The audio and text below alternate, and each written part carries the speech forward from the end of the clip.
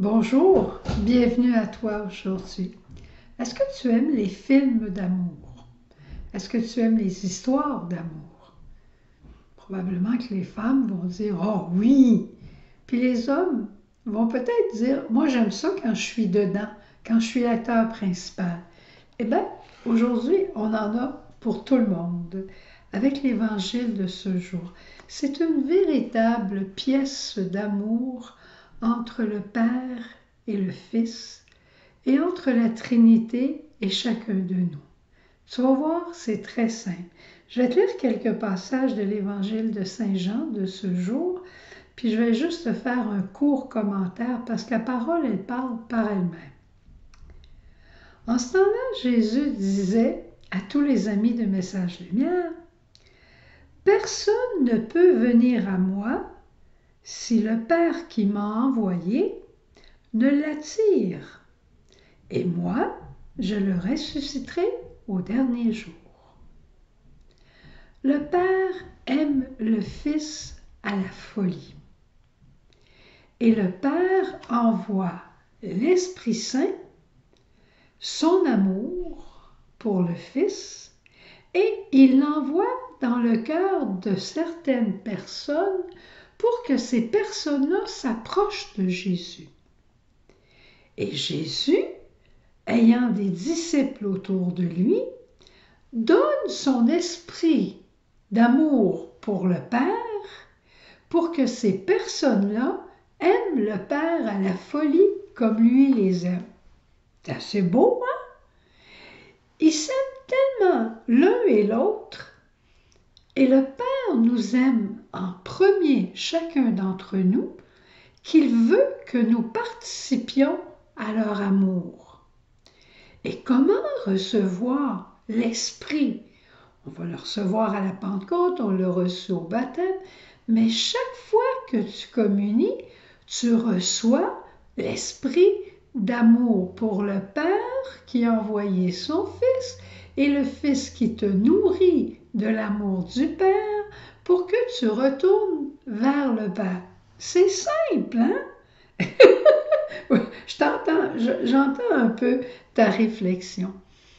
Au fond, c'est cet amour qu'on retrouve dans les familles.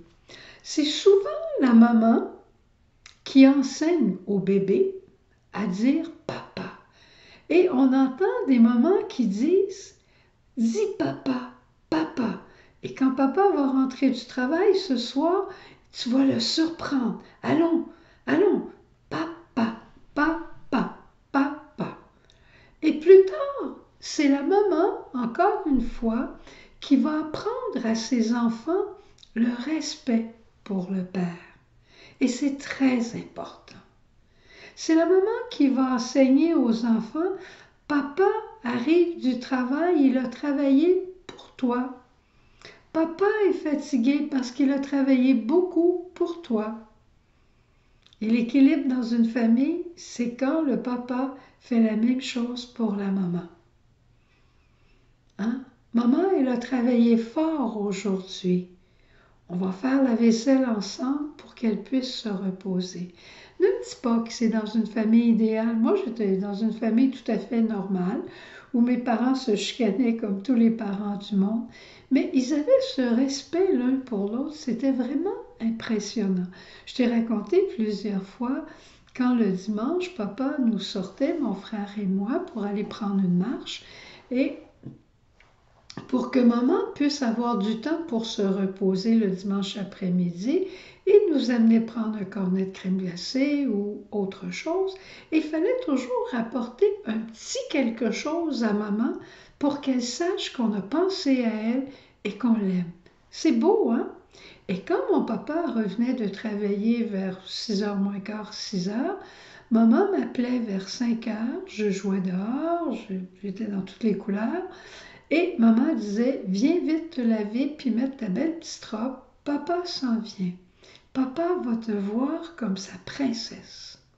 Et ça, l'été, là, je me souviens que j'allais me changer quand papa arrivait.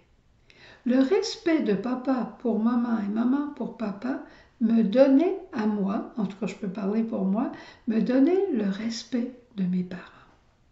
Et c'est ça que Jésus a, veut nous enseigner aussi à travers ce texte, le respect des uns pour les autres. Et quand on respecte l'autre et qu'on l'aime, on veut lui amener beaucoup de personnes. Je vais te montrer quelque chose. Attends-moi un instant. Dans les tout débuts de la communauté, Sœur Jeanne, notre fondatrice bien-aimée, a reçu une parole et elle avait vu d'abord, pour commencer, un Jésus comme celui-ci. Est-ce que je te le montre bien? Un Jésus comme celui-ci qui regardait vers le haut et qui était souffrant.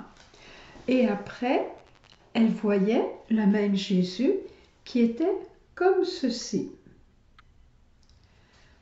Sœur Jeanne ne comprenait pas trop trop ce qu'était ce, cette vision intérieure, mais pas avec ses yeux, mais en tout cas, elle le voyait intérieurement. Et le lendemain matin, la Vierge Marie vient voir Sœur Jeanne elle, dans la prière et elle lui explique ce qu'elle n'avait pas compris. Et elle a dit à Sœur tu as vu Jésus. Il a d'abord regardé le Père pour lui dire oui. Jésus était devant une décision difficile à prendre et il regardait le Père pour puiser en lui l'amour dont il avait besoin. J'ai besoin de voir l'amour du Père pour lui dire oui. J'ai besoin de comprendre qu'il m'aime à la folie pour qu'à mon tour je l'aime à la folie. Et fort de cet amour-là, ensuite, il regardait vers ses frères avec toute sa bonté et il les aimait et il les amenait à aimer Dieu notre Père. Et il en est ainsi dans notre journée quotidienne quand une chose nous apparaît un peu plus difficile, quand on commence la journée, qu'on puisse se retrouver et regarder Jésus et voir qu'est-ce qu'il a fait et faire comme lui. Et si tu veux aller encore plus loin, eh bien, va communier va recevoir Jésus, le pain de vie. Et si tu l'as reçu dimanche passé et tu ne peux pas y aller de la semaine, eh bien, renouvelle par une communion spirituelle la présence de Jésus en toi. Et Jésus, qui est le même que la Vierge Marie a porté dans ses bras, eh bien, ce Jésus-là, il vient en toi pour t'aimer et aimer tes frères et leur faire aimer Dieu le Père ça je t'en ai parlé dernièrement, qu'on soit le regard bienveillant de Dieu pour nos frères. Eh bien, quand tu communies, laisse la Vierge Marie aimer Jésus en toi. Fais silence, essaie-le, tu vas voir. Fais silence, laisse Jésus être aimé, regardé par Marie et regarde comment Marie aime Jésus en toi au moment de la communion. Moi, souvent, je, communie, je reçois Jésus et je dis à Marie, il est pour toi ton Jésus. Et je vois Marie qui est là en silence devant Jésus et elle me dit, il est en train de prier pour toi et pour tous les tiens. Eh bien, je reste en silence dans une grande reconnaissance.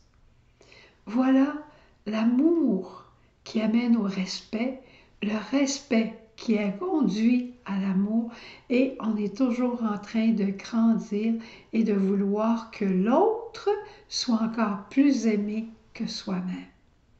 Au revoir. Bonne journée. N'oublie pas, je vais ouvrir la porte du tabernacle. Viens à moi, à mes pieds, je parlerai à ton cœur, je suis ton Seigneur.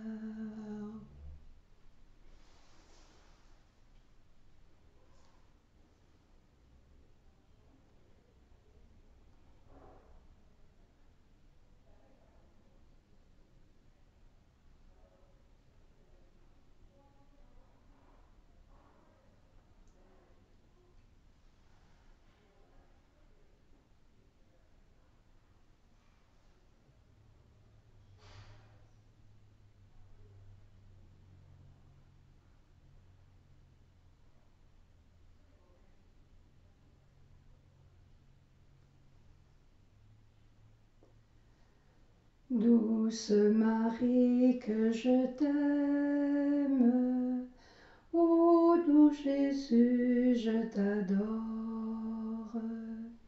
Douce Marie, que je t'aime, ô doux Jésus, je t'adore.